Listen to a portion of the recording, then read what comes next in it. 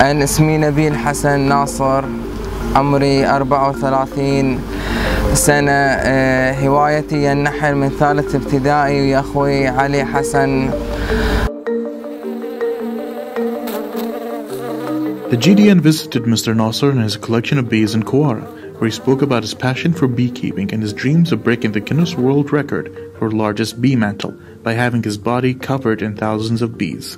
وإن شاء الله يوم من الأيام أدخل موسوعة يعني موسوعة أرقام القياسية وإن شاء الله على الله يعني. الحين أنا قاعد أسعى لين ما أوصل لأن النحل في البحرين ما بيملي جسمي كامل.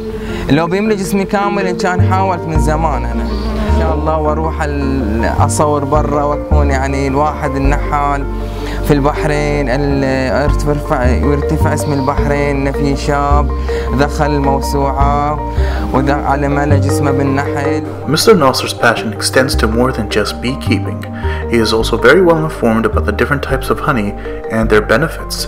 So much so he opened up his own store in Tubli where he sells various different types of honey imported from different countries each with their own benefits.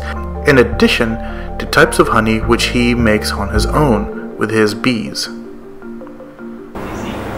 الحمد لله حلمي ان افتح لي مكان وفتحت لي مكان أبيع العسل الطبيعي فيه.